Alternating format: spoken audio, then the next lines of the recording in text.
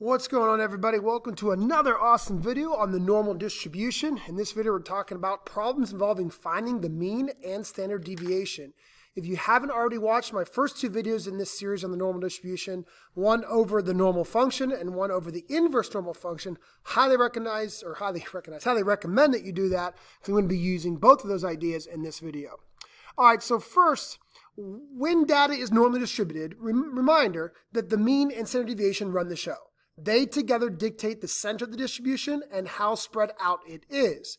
And with the mean and standard deviation, a z-score can be calculated for every single value in the data. But since it's normally distributed, every z-score has a proportion of data below it and above it. And we can find that with the normal function. So that's why everything is truly linked here, right? So if we have the mean and the standard deviation that run the normal model, then we could use those two things to find a z-score for any particular value. Pretty easy formula here for z-score. But with a z-score, we could use the normal function to find a proportion above it and a proportion below it. So we have so many values all intertwined here. We have the mean, we have the standard deviation, we have an actual value, an, an actual individual value in the data. We have that corresponding value's z-score. Then we got a proportion above that z-score and a proportion below that z-score. So once again, just to make a quick picture of that normal model, right smack dab in the middle is the mean. We go up one, two, three standard deviations, down one, two, three standard deviations. Remember that mean has a z-score of zero. And then again, let's just say we find an actual value. So if I say, okay, here's an actual value right here, its z-score is about positive 0.5. Um, it has an actual value x that I could also find. But then again, look at the graph. There is a percentage of data below it, and there's a percentage of data above it. So all these things are intertwined. And if you understand how they're all intertwined, everything I do in this video is going to make a lot more sense. All right, so let's look at a generic example where we're asked to find the standard deviation. So a random variable x has a standard deviation that follows a normal model. Okay, awesome. If it wasn't for that, we couldn't even do the problem. The mean of x is 22.5, so I'm going to write that down. The mean is 22.5. And we know that a value of 16 is at the 20th percentile. So an actual value of 16 is at the 20th percentile. That means that there's 20% of data below it which we could also in turn means there's 80% of data above it. And the question wants us to find the standard deviation.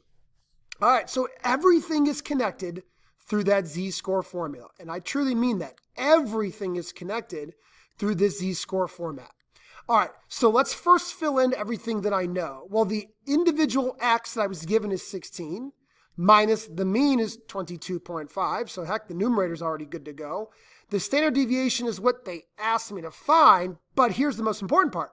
I could actually find the z-score. Even though I don't know the standard deviation to literally calculate the z-score with the information I have, because I was given this information, I can find the z-score using that inverse function on my calculator. So I know there's 20% below 16. So this is exactly what an invert norm is going to be very helpful for me right now because an invert norm on my TI-84 calculator, once again, second vars gets me to that distribution command. I'm going to go to inverse norm and I'm going to type in 20% here and I'm also going to make sure that it says left. That's because we know 20% is to the left or below. Now I could select right if I wanted to and then I'd have to type in 0.8 because 20% to the left means 80% to the right. So I'm just going to stick with the left because that's what was given. And this is that z-score. So a z-score of negative 0.842 is a z-score that has that 20% below it. And what is the it? That's the 16 because I know there's 20% below 16 and that would be 20% a, below a z-score of negative 0.842. So I'm going to come back over here. I'm going to fill in that z-score with negative 0.842. It's all connected, right? This is the z-score for 16, and I knew that because it's got 20% below it. We already knew the mean, and now we're asked to find the standard deviation. Now it becomes pretty simple math, a math problem. So 16 minus 22.5 in that numerator is negative 6.5. Uh, I messed up though. It's, it's um, yeah. The z-score is negative 0.842. I wrote 0.22, so negative 0.842. Sorry about that. So negative 0.842 equals, again, that numerator is negative 6.5 divided by sigma. All right, how do I solve for sigma? Well, the first thing I do is multiply it over to the other side. So multiply the sigma over. So I get negative 0.842 sigma equals negative 6.5. And then we're going to divide by the negative 0.842, divide by the negative 0.842, and I will have sigma. Two negatives make a positive, and standard deviation is always positive. So if you ever get a negative standard deviation, you did something wrong. And I get a standard deviation of 7.7197, so 7.720, 7.720. That's it, pretty easy. But again, everything is connected through, know, through knowing the z-score formula. The z-score formula is what's going to connect everything together. All right, let's do another example. This one's going to be in context. So the weights of bullfrogs are normally distributed with a mean of 950 grams. Okay, there's my mean. The top 10% of weights is marked by a weight of 1600. So an actual bullfrog weight of 1600 grams has 10% tops, that's 10% above, which simultaneously means 90% below or to the left. All right, so now they want to find the standard deviation once again. So I'm just going to go ahead and use that uh, z-score formula, and I'm going to fill in everything I know. All right, I know the individual X that I was given was 1600. I know the mean is 950. I don't know sigma. That's exactly what we're solving for. But wait a minute. I can't, you know, some kids say, well, I can't find the z-score. I don't know the standard deviation. I, I agree. But you were given this amazing information. There's 10% below the 1600. So that's where I could grab invert norm on my calculator. Excuse me, 10% above. Now, be careful, right? You could use this calculator. You got left, you got right. So if I want to go left, I'm going to put 0.9 because 10% at the top is 90% to the left. I could also change that to right and put 0.10 there, and I would get the same z-score. Now, if you have an older calculator that does not have this row that says tail here, your calculator only accepts the area below. So you would have had to understand that 10% above means 90% below. So keep something to keep in mind. Again, I went over all that in the video for the inverse normal distribution. So 1.282 is my z-score. And again, just like last problem, all I got to do is solve. 1.282 on top, 1600 minus 950 is 650. Multiply sigma to get it over to the other side, 1.282 sigma equals the 650. Last step is to divide by the 1.282. And go to your calculator, 650 divided by the 1.282 is a standard deviation of 507.020. In this case, that would be grams. Got to actually put a G on there for grams. All right, pretty cool, pretty easy, not too bad. All right, let's do another set of problems here. This time we're looking for the mean, but it's a very similar idea. The random variable x is a standard deviation of 6.5, and it follows a normal distribution. That is awesome. Okay, so this time I was given that the standard deviation is 6.5. The probability that x is less than 35 is 0.085. Okay, so the actual value I was given, the probability that x is less than 35 is 0.084. So I was told that the standard deviation, once again, is 6.5. The actual value, like an, an, actual data value they gave me was 35. And they and I was told that um, the probability that I'm less than that, so that's less to the left, is 0.084. Now that simultaneously means, if you care to, to know, that 0.916 is above it. Remember, there's always two sides to a probability, above and below. All right, so once again, I'm going to jump right into that z-score formula. And I'm just going to start substituting in everything I know. All right, I know that the actual x that the question gave me was 35. I do not know the mean. I'm going to leave that as a mu. But I do know the standard deviation is 6.5. And once again, I do know the z-score, even though I can't calculate the z-score with the z-score formula because I was told that there's 8.4% below 35 or the probability that I'm below 35 is 0.084, I can go to my calculator. I'm going to grab that invert norm command, and I can actually get the z-score. So I'm going to leave it on left because we're looking below 0.084. You are more than welcome to switch that to right and put 0.916. You're going to get the same z-score whether it has 0.084 below it, 0.916 above it, left, right, it's the same thing. And I get a, let me go down here to paste, get a z-score of negative 1.379 z-score of negative 1.379. All right, now I just got to solve. All right, a little bit different solving technique here, but still not too bad. First thing I'm going to do is multiply by the 6.5. That's going to cancel it out on the right. So, and you actually, I actually not going to go to a calculator yet, but again, you could just write 6.5 times negative 1.379. The reason why I don't want to go to a calculator right now is because I'm going to get some decimal that I don't want to round the middle of a problem. Then I'm going to have to subtract the 35 over.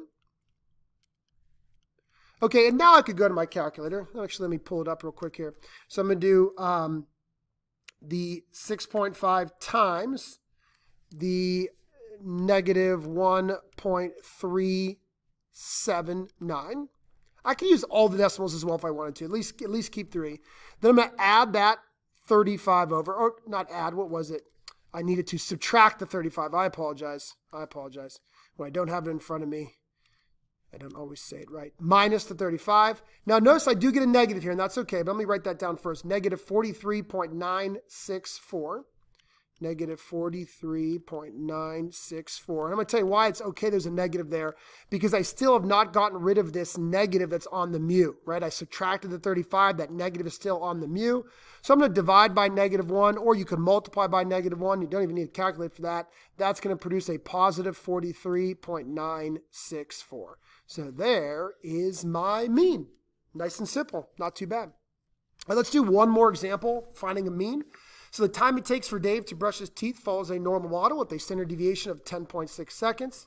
The probability it takes him over 135 seconds to brush his teeth is 0.102 or 10.2%. What is the mean? So once again, start writing down what I was given. I was given the standard deviation, 10.6 seconds. I was given that an actual value of 135 seconds has 0.102 or 10.2% over. So that's going to be to the right. And again, 1 minus the 0.102, that would be the below. And if you care to know that, would be 0.898 is the above. So 89.8% would be to the left. Remember, all probabilities, all proportions have a side below and a side above. All right, so I'm just going to fill everything in on that z-score formula here. This z-score formula. A lot of kids say, I don't know where to start. Start with the z-score formula. All right, so let's see here. The actual value in the problem is 135. I don't know the mean. That's what they asked me to find. I do know the standard deviation is 10.6. And now this is where I'm going to find my z-score because I know there's 10.2% above, 89.8% below. So if you have an older calculator that doesn't have this option to go right, you're going to always be stuck going left. I personally always use left. So I know the problem said 10.2% is over, but I'm actually going to put the 0.898. That's the left. That's below. It's again, if you want to put the 0.102, you can. You just got to select right. If you don't even have that tail option, you got to put the below no matter what. And this is going to give me the z-score, 1.270. So this is the z-score that has that's a bad looking two. 1.270. This is the z-score that has 10.2% above it or 89.8% below it. And now I'm just going to solve. Start by multiplying by the 10.6. So I have 10.6 times the 1.270 equals the 135 minus mu. Now I'm going to subtract the 135 over. And at this point, I'll go and grab my calculator. 10.6 times 1.270 minus the 135 is negative 121.538. Be okay with that negative because it's about to go away because don't forget that negative is still on the mu. So I'm going to divide or multiply both sides by negative 1. So I get a mean of 121.538 seconds. All right. So again, Hopefully uh, this is pretty cool, right? It's all powered by that z-score formula and knowing how to use those functions on your calculator. All right, I want to do one more problem here with you. This is a pretty cool AP type problem because we have to find something to find something else. This is a pretty good multi-level problem. All right, so scientists are working for a water district measures, scientists working for a water district measure the water levels in a lake each day.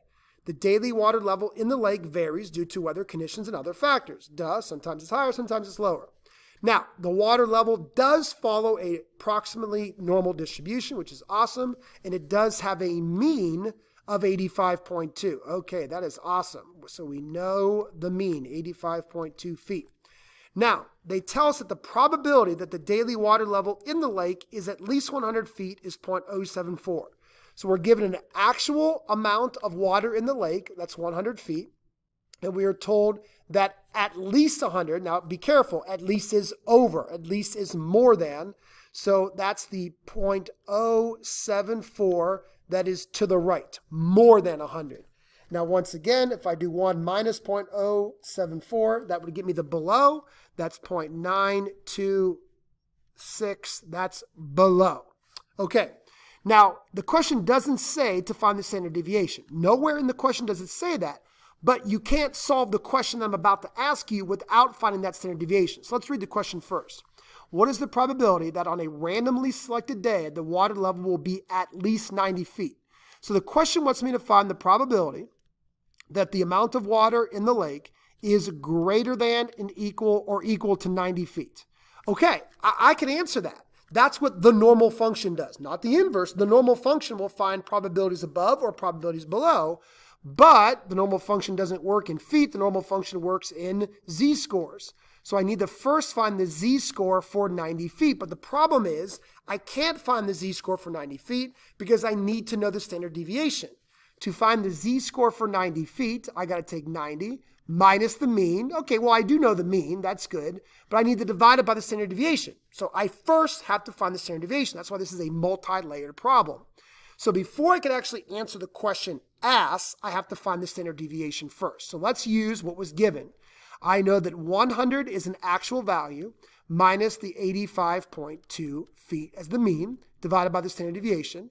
And because I was given this information right here, that there's either 7.4% above 100 or 92.6 below 100, I could find the z-score for 100.